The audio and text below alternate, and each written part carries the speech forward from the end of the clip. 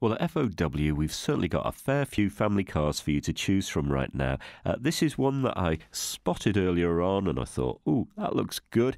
A Renault Scenic, it's the Grand Scenic Edition from 2010, which has only covered about 23,000, so that's nothing to worry about. And you get a really nice specification with this one, including half leather seating. Very comfortable, You've got satellite navigation to keep you on track as well, so it ticks the boxes. This has the 1.5 diesel engine. You're going to find this is a very smooth operator and pretty quick off the mark. It's not very thirsty either, so um, I think your running costs are going to be fairly family friendly. In fact, you can look forward to about 55 to about 60 miles per gallon, and six months' tax is £66.